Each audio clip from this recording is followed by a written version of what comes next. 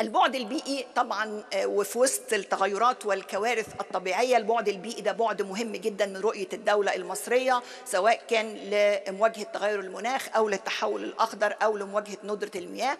إحنا 78% من مشروعاتنا موجهة للتخفيف.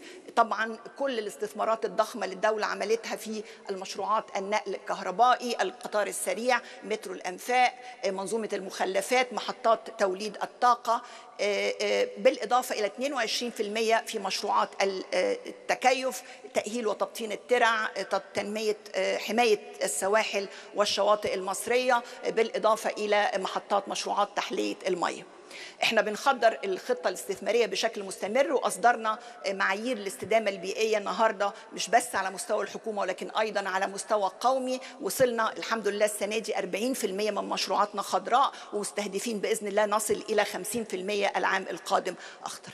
نتيجة لكل الجهود التنموية للدولة المصرية إحنا قبل الأزمة الروسية الأوكرانية كنا محققين 6 و6% معدلات نمو، معدل البطالة وصل إلى أدنى مستوى له 7% الاستثمار الأجنبي المباشر زي ما اتقال في الفيديو 10 مليار دولار وارتفاع الاحتياطي 34.9 مليون.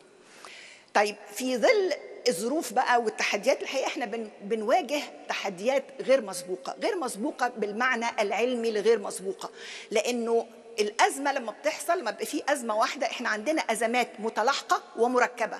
إحنا بنتكلم على أزمة كوفيد ثم الأزمة الروسية الأوكرانية وما تبعها من أزمات جيوسياسية تحصل على المستوى العالمي ثم التغيرات المناخية اللي النهارده الدول النامية بتصرف لا يقل من 4% من الناتج المحلي الإجمالي بتاعها ل بس الحد من الكوارث مش عشان تصرف على التخفيف والتكيف.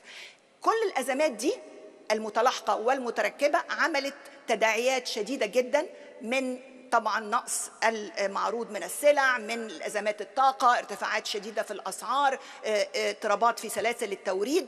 كل ده كان له تداعيات شديدة جدا. والحقيقة اللي بيضخم من حجم الأزمة إن الولايات المتحدة والصين وأوروبا هم 50% من الاقتصاد العالمي. وبالتالي كل اللي بيحصل عندهم النهارده بيؤدي إلى انخفاض شديد جدا في معدلات النمو وانخفاض شديد جدا في معدلات التجارة العالمية.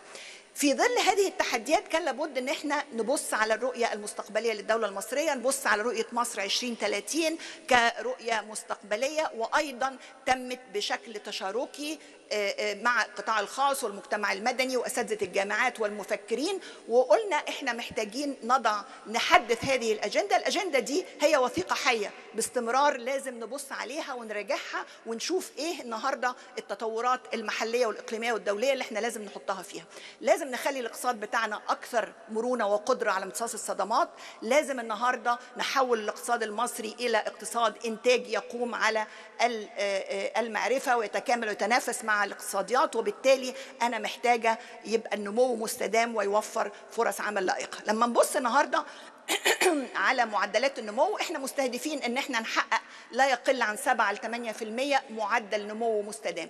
طب إحنا النمو بتاعنا على مدى من 80 للنهاردة ولو رجعنا من الخمسينات للنهاردة هنلاقي النمو بتاعنا بياخد هذا الشكل. نمو لما أي صدمة النهارده بيحصل تأثر لهذا النمو عندي تتسع الفجوة الشديدة بين الصادرات والواردات وبالتالي أنا النهارده محتاجة إن أنا أنظر إلى هيكل الإنتاج وهيكل النمو بتاعي شكله إيه. بصينا على سوق العمل حقيقي إحنا محققين 7% بطالة ولكن أنا عندي بعض التحديات في هيكل العمالة. عندي مازال بطالة المرأة ثلاث أضعاف بطالة الرجل. عندي بطالة. أعلى في المتخرجين الحاصلين على مؤهلات عليا وعندي نسبة من القطاع الغير رسمي النهارده في سوق العمل. فبالتالي مرونة سوق العمل النهارده وكفاءته مهمة جدا. ده بقى لو أضفت إليها النهارده وظائف المستقبل. وظائف المستقبل اللي النهارده بنتكلم على 83 مليون وظيفة معرضة في 2030 إنها تفقد و69 مليون وظيفة جديدة. كلها بتعتمد على مهارات الإبداع والتحليل النقدي وعلى كل التكنولوجيا. فإحنا محتاجين نبص على هيكل الوظائف بتاعتنا وتغيير هذا الهيكل. أيضا من ضمن التحديثات التوجه نحو مزيد من مشاركة القطاع الخاص. وزي ما شفنا ودوله الرئيس عرض إحنا كنا النهارده الدولة عشان تحقق كل هذه الخدمات كانت داخلة عشان تستثمر وشفتوا حضراتكم حجم الاستثمارات العامة. إحنا النهاردة نتكلم على استثمارات للقطاع الخاص. إحنا واصلين ل 36% هذا العام وبنستهدف بإذن الله 65% في 2030 يعود القطاع الخاص إلى مستهدفاته. يبقى إحنا النظرة, النظرة المستقبلية. إحنا بنتكلم على تنويع هيكل أو النظرة إلى هيكل الاقتصاد المصري.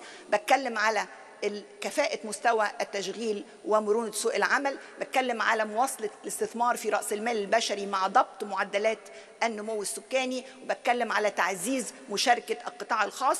كل ده له عناصر داعمة من الحوكمة وكفاءة المؤسسات والشمول المالي.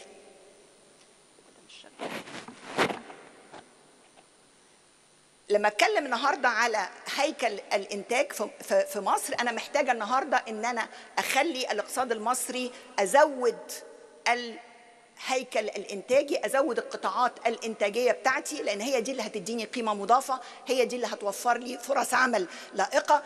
هي دي اللي عندها قدرة تشابكية مع القطاعات الأخرى. فبركز على الصناعة الزراعة الاتصالات تكنولوجيا المعلومات. بزود وزنهم النسبي من 25% في الاقتصاد إلى 35% كوزن نسبي. إحنا النهارده وصلنا لكام؟ وصلنا إلى 30% في الوزن النسبي للقطاعات دي. أيضا بالإضافة إلى قطاع السياحة وقطاع اللوجستيات لأن أنا عندي فيهم ميزة تنافسية. عندنا لكل هذه القطاعات عندنا مستهدفات كمية عندي سياسات وإجراءات تنفيذية وعندنا أيضا تعديل في التشريعات سواء كانت إجراءات زي زيادة نسبة المشروعات الصغيرة والمتوسطه من 10% إلى 20% في الصادرات، زيادة نسبة المكون التكنولوجي في صادراتي عشان تبقى أكثر تنافسية في الصادرات الدولية، أيضا قطاع الأمن الغذائي طبعا لابد إن إحنا نحسن مؤشر الأمن الغذائي في مصر بكل الجهود اللي بتتم. وطبعا في بعض التعديلات التشريعية زي تعديل قانون الزراعة وقانون التعاونيات من الأمور المهمة جدا.